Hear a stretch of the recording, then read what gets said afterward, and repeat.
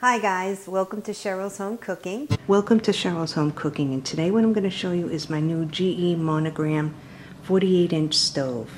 This is the GE Monogram stove that I just purchased and it has two separate dials. This dial right here is for this oven and this dial is for the larger oven and you can see they light up and then it lets you know the temperature. I do have them both set about 250. So this one is digital. It also has accent lighting. Okay, the accent lighting lights up and then I hit it again and the knobs will light up.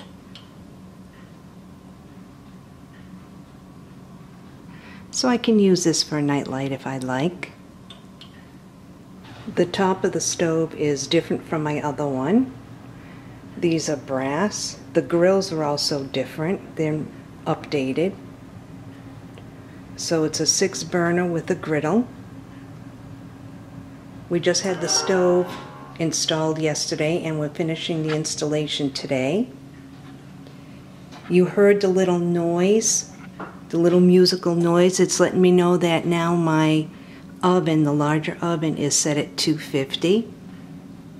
You can see I have it set at bake 250. So now I'm just waiting for the smaller oven. It's at 230. Right now I'm heating up the griddle and seasoning it.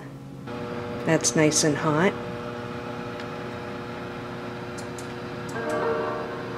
So now both ovens are set at 250. They're working good. Here is inside the smaller oven. These ovens are also air fryers. So this is a smaller oven. The larger oven. So now that I tested out both ovens, I'm going to turn my oven off.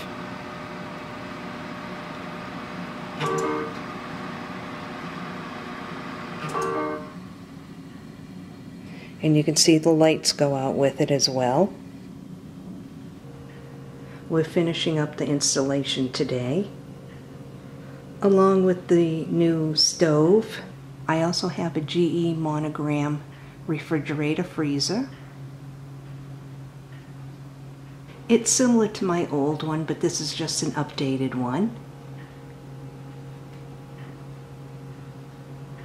They're both Wi-Fi, Bluetooth, but this is a nice, nice stove.